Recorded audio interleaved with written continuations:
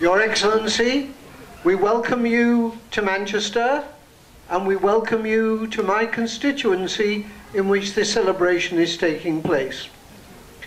It's a very great privilege for me to participate in this Jinnah Day commemoration and I'm very pleased indeed that participating with me are councillors from my constituency, Abid Chauhan, Rabnawaz Akbar and Ahmad Ali.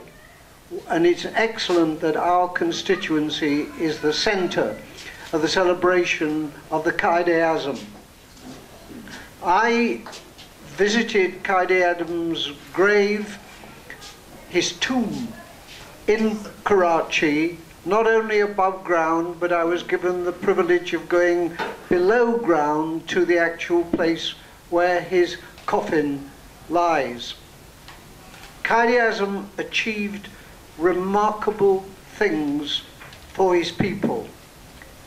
And he achieved those remarkable things on the basis of having learned about parliamentary democracy here in this country, where when he was at Lincoln's Fields, he went to the gallery of the House of Commons and saw parliamentary action, parliamentary democracy, and he resolved to take that parliamentary democracy back to his own country and to create a country based on parliamentary democracy.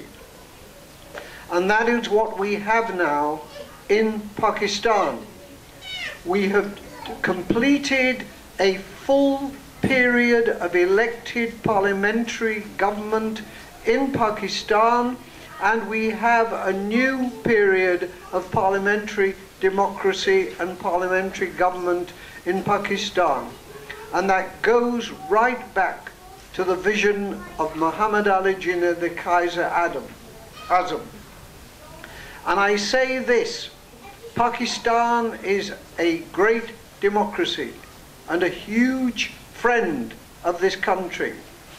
And in Parliament, during the misguided short period when Pakistan withdrew from the Commonwealth, I made sure in a law, law passed by Parliament that Pakistanis could have dual nationality and retain their Pakistani nationality and have British nationality as well.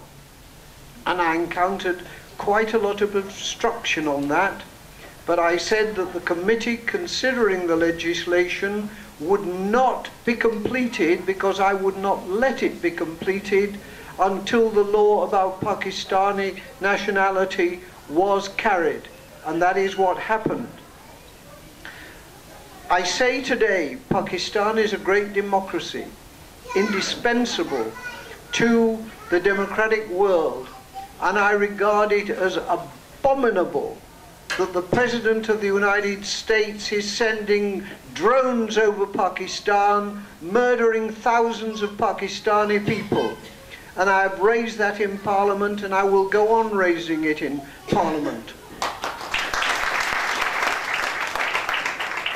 So I say, it is my huge pride to recommend people of Pakistani heritage we have a wonderful multi-ethnic city here in Manchester and the contribution of people of Pakistani heritage to that city is indispensable and marvellous. In every way you can imagine from participating in government there are many people of Pakistani heritage who are elected members of, Pakistan, uh, of Manchester City Council medicine the food, here on Stockport Road, over on Curry Mile, the best food in Britain. And in addition to all of that, all the other jobs that people do, the people who are train managers who collect your ticket on the train, all the way through we see people contributing to every single aspect of cultured life, democratic life in this country. And I am so lucky that I represent such people in the House of Commons. So I thank the Circle of Literary Friends for organising this event today and inshallah I shall take part in many future celebrations.